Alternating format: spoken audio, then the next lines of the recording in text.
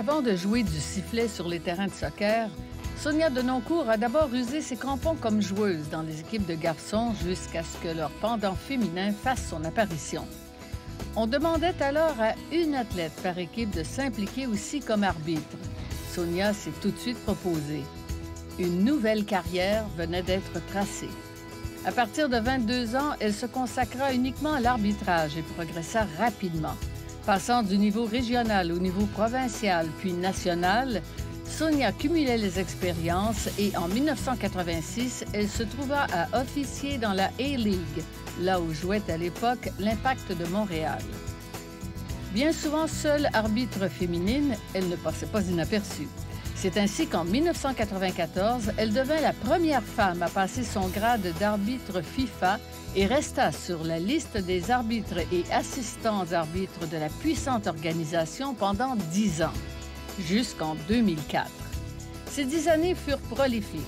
Elle arbitra durant trois Coupes du monde féminines et deux Jeux olympiques, soit à Atlanta où le soccer féminin fit son entrée pour la première fois et à Sydney où elle dirigea le match pour la médaille d'or. Pendant cette décennie, elle continua de cumuler les hauts faits d'armes. Elle devint la première femme à arbitrer un match professionnel senior masculin lors de la rencontre d'ouverture du championnat Paulista du Brésil entre Palmeiras et San José. Et elle le fit avec aplomb, refusant même un but et expulsant le bouillant Cafu, qui doit encore s'en souvenir. D'autres assignations internationales l'amenèrent au El Salvador pour un match de première division, à la Coupe Kérin au Japon chez les hommes, à la Coupe Algarve au Portugal chez les femmes. Elle sillonna les États-Unis dans des affrontements de haut niveau. Sonia Denoncourt mit fin à sa carrière d'arbitre en 2004, mais ne resta pas inactive pour autant.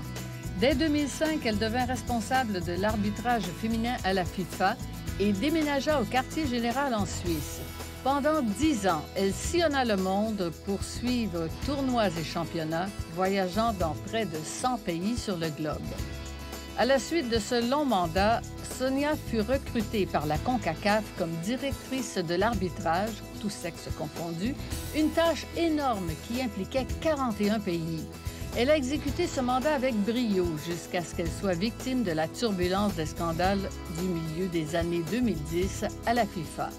La compétence de Sonia Denoncourt fut soulignée à maintes reprises. Arbitre par excellence de Soccer Québec cinq fois, officielle de l'année au Gala Sport Québec trois fois, membre du Temple de la renommée de Soccer Canada, de Soccer Québec, de l'Université de Sherbrooke, du Panthéon des sports de Sherbrooke et maintenant celui du Québec, on peut certes dire que Sonia a pris la bonne décision lorsqu'elle a levé la main à 14 ans pour devenir arbitre. Sifflet de coup d'envoi, sifflet final, belle carrière, Sonia Denoncourt.